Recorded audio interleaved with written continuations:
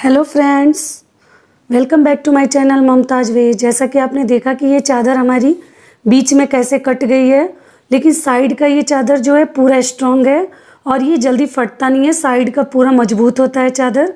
तो हमारे bedsheet maximum बीच में ही वो ज़्यादा घिस जाती हैं और जल्दी फट जाती हैं या गलती से किसी कारणवश उसमें कट लग जाए। तो देखिए मैं बेडशीट से हम क्या बना सकते हैं? ऐसे तो बहुत कुछ बना सकते हैं, लेकिन देखिए, मैंने इसका विथ लिया है। ट्वेंटी इंच लंबा मैं इसको ली हूँ।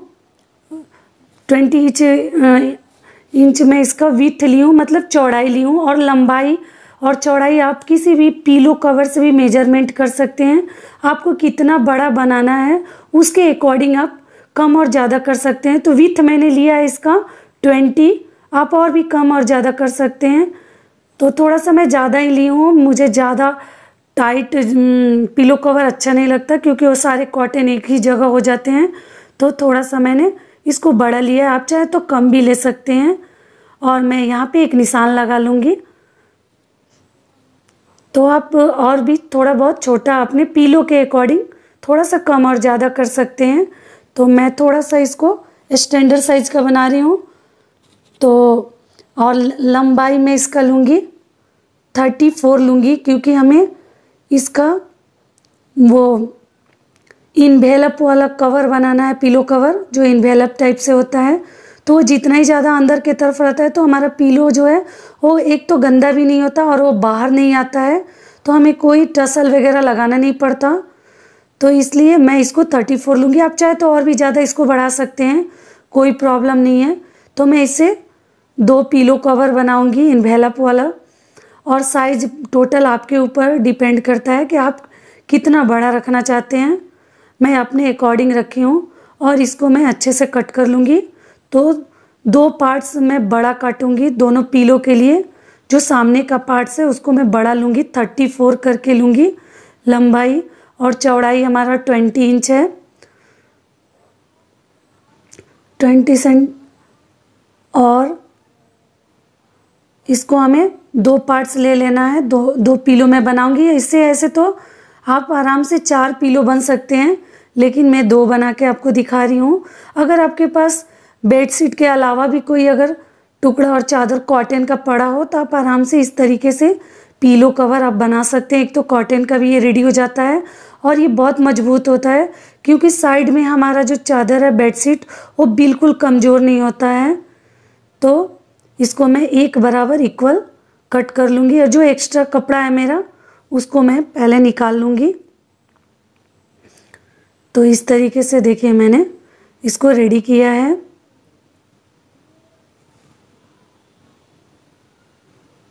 और ये हमारे दोनों पीस जो बड़े वाले पीस है, जिसको हमें अंदर की तरफ़ फोल्ड करना है, ये वाले पीस हैं, जिसमें हमें फोल्ड लगाना है, अंदर की तरफ़ इन्वेलप बनाना है। वो वाले ये दोनों पीस है। अब मैं चलती हूँ छोटा वाला पीस को कट करने। तो छोटा वाला पीस इससे चार इंच चार पाँच इंच इससे कम रहेगा। तो उसको हमें इतना कम रखना है, देखिए। और ये भी मेरा दोनों पीस मेरा कट गया।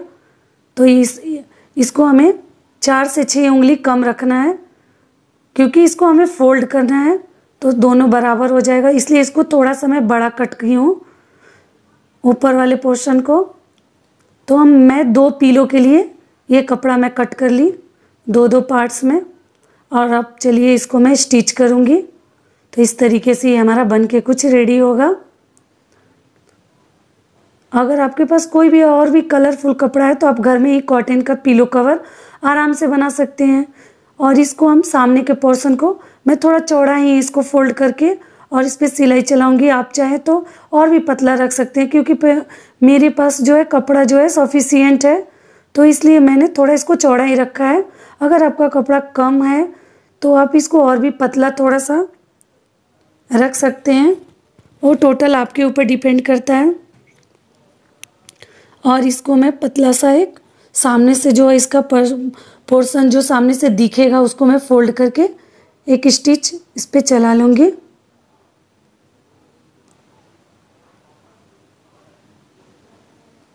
और इस तरीके से मैं चारों पार्ट्स को, दोनों के दो दो पार्ट्स हैं, चारों को मैं सामने के पोर्शन को ऐसे फोल्ड कर करके और सबको मैं रेडी कर लूँगी। इसको और भी पतला आप रख सकते हैं, लेकिन मैंने थोड़ा चौड़ा ही इसको रखा है। देखने में भी अच्छा लगता है और कपड़ा भी थोड़ा ज़्यादा था तो इसलिए मैंने इसको तो एक बेडशीट में आपको आराम से चार पीलो कवर और उसमें भी कॉटन के, और ये बहुत स्ट्रांग होते हैं, क्योंकि आजकल चादर जल्दी फटते नहीं है, बस बीच में ही थोड़ा सा कट गलती से लग जाते हैं, या वो घिस जाते हैं, और साइड के वो पूरा स्ट्रांग रहते हैं। तो आप घर में ही कॉटन के पीलो कवर आराम से इन्वेलप वाले तैयार कर सकती हैं और कोई प्रॉब्लम नहीं है इसको बनाने में, ज़्यादा मेहनत भी नहीं है। थोड़े से मेहनत में ही हमारे पीलो कवर रेडी हो जाएँगे। कभी कभी तो हमारे जो सेट मैचिंग वाले मिलते हैं और पीलो कवर ही जल्दी ख़राब हो जाते हैं और बेडशीट हमारे नए ही रह जाते हैं। तो अगर आपको बनाना चाहते हैं तो ज़रूर बनाइए और ऐसे मैचिंग वाले अगर यूज़ करते हैं तब तो कोई प्रॉब्लम नहीं है। तो इस तरीके से मैंने चारों कवर को चारों कपड़ों को जो टुकड़े मैंने काट के रखे थे, उन सभी को मैं यहाँ पे मैं रेडी कर ली। और बड़े वाले पार्ट से इसको आपको चार से छः इंच जितना आपको अंदर की तरफ़ फोल्ड करना है, उतना आप इसको कम लीजिएगा। तो वो थर्टी फोर था तो इसको आप ट्वेंटी एट भी ले सकते हैं, आराम से। छोटे वाले पार्ट्स को और दोनों के जो सीधे वाले पल्ले हैं, उसको अंदर करके हमें स्टिच लगाना है। और जो सामने वाले पोर्शन मैंने बंद किए हैं दोनों कपड़ों के तो इसको हमें इसके ऊपर रख के, छोटे वाले पार्ट्स के ऊपर, ये चीज़ थोड़ा ध्यान दीजिएगा, दोनों पार्ट्स को हमने पीछे से इक्वल कर लिया और यहाँ सामने थोड़ा सा मैं एक से डेढ़ इंच छोड़ के उसको फोल्ड कर दी हूँ, इसके ऊपर। छोटे वाले पार्ट्स के ऊपर। और ये जब सीधा होगा तो इस तरीके से कुछ हमारा पीलो कवर बन के रेडी होगा। तो छोटे वाले पार्ट्स के ऊपर, बड़े वाले को मैंने फोल्ड करके रख दिया।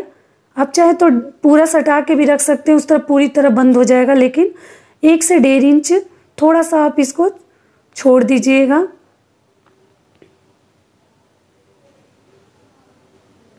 और फिर मैं इसके ऊपर, उसमें बंद करके इसको उसके ऊपर चढ़ा के इसको रख के हमें सिलाई करना है। तो ये अंदर रहेगा और बड़ा वाला जो कपड़ा है वो ऊपर से इसको कवर करके फिर मैं इसके ऊपर स्टिच लगा दूँगी। और चारों बगल से हमें इसको बंद कर लेना है। अच्छे से एक तरफ़ से जो इसका सामने का पोर्शन है उधर नहीं करना है।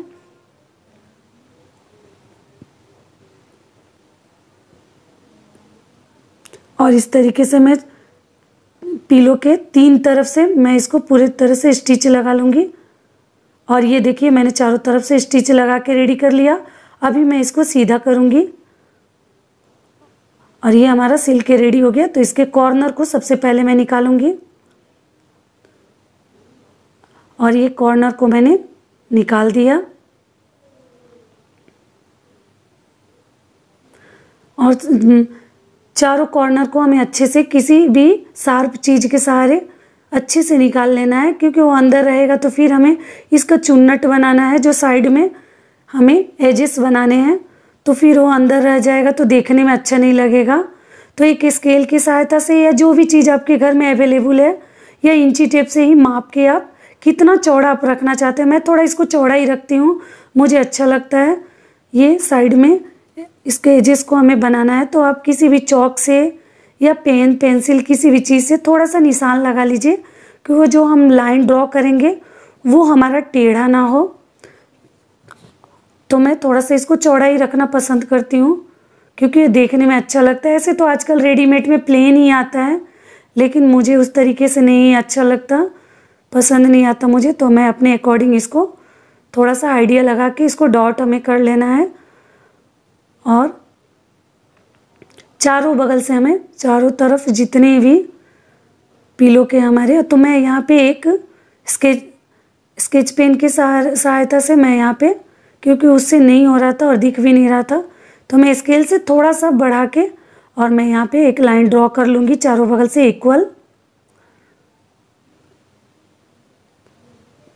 तो इस तरीके से देखिए मेरे चारों तरफ़ से लाइन जो है वो रेडी हो गए और यहाँ भी जो पार्ट्स मैंने फोल्ड किया है, उसके ऊपर भी आप लाइन ड्रॉ कर लीजिए। और यहाँ पे जिग जैग में इसमें स्टिच स्टिच डालूँगी। आपके पास अगर इस तरह का मशीन है तो आप जिग जैग वाले ही पैटर्न को डालिए। अगर नहीं है, ये पूरा रेडीमेड लगता है। और अगर नहीं है तो आप नॉर्मल भी सिलाई, जो मशीन की हमारी नॉर्मल स्टिच है, उससे भी आप इसको आराम से इसके ऊपर सिलाई प्लेन ऐसे चला सकते हैं। लेकिन मैं इस तरह से जिगजैग बना लेती हूँ तो पूरा मेरा पीलो जो है, पीलो कवर ये रेडीमेड लगता है। बिल्कुल नहीं लगता कि ये घर का बना हुआ है। अगर एक कलर का कपड़ा हो प्रिंटेड तो बिल्कुल नहीं। इसमें तो थोड़ा सा डिज़ाइन है तो कहीं कुछ आया है और कहीं पे कुछ। तो ऐसे तो इसमें बहुत अच्छे अच्छे डिज़ाइन थे, लेकिन मैं बिल्कुल लास्ट वाले ली हूँ, जिससे कि वहाँ पे, वहाँ का कपड़ा जो था हमारा, वो स्ट्रांग था। और देखिए, मैं थोड़ा सा कैमरा को क्लोजअप करके भी आपको दिखा दी।